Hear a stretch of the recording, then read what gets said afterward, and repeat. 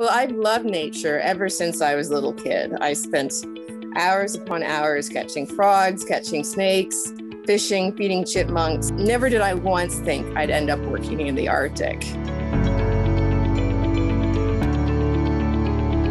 The effects of climate change and Arctic change are much more obvious than they are in the South. I saw Arctic foxes, saw polar bears, and just basically was just captivated by the environment. Climate change is having a profound effect on many of these species. I remembered my first experience working with Inuit communities and having people tell me that not only are their whales getting smaller, but also that they were experiencing temperatures that they had never had in the past.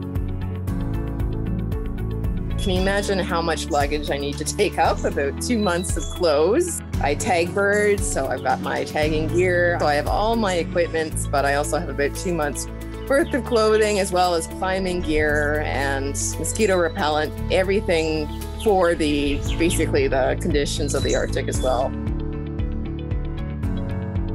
For me, it's very humbling to be a role model um, in science. I never, I, never anticipated being a role model, and I've always, you know, admired, you know, the women that came before me who helped to break down barriers for other women in science.